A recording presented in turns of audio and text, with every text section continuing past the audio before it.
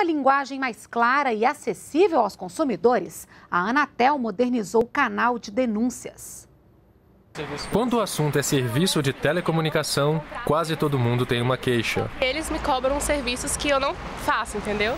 E aí, tipo, toda vez o crédito é descontado, e aí eu tento entrar em contato e eles falam que não podem fazer nada. Franquia de dados que é, não utilizei toda e a operadora alega que eu já gastei tudo. Quando você faz uma recarga, eles comem a metade dos seus créditos e quando você vai reclamar, eles falam que que é assim mesmo, fica por isso mesmo. Agora vai ficar mais fácil denunciar operadoras que não estão prestando os serviços contratados.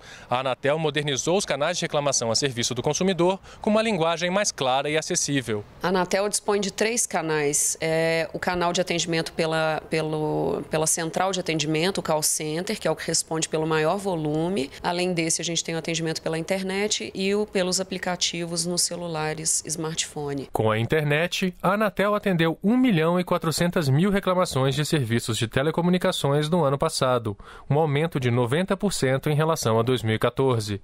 Somados os três canais, foram mais de 4 milhões de queixas, um crescimento de 43,5% em relação ao ano anterior.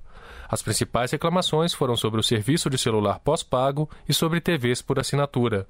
A primeira reclamação deve ser feita à operadora. Se o problema não for resolvido, os clientes devem procurar a Anatel.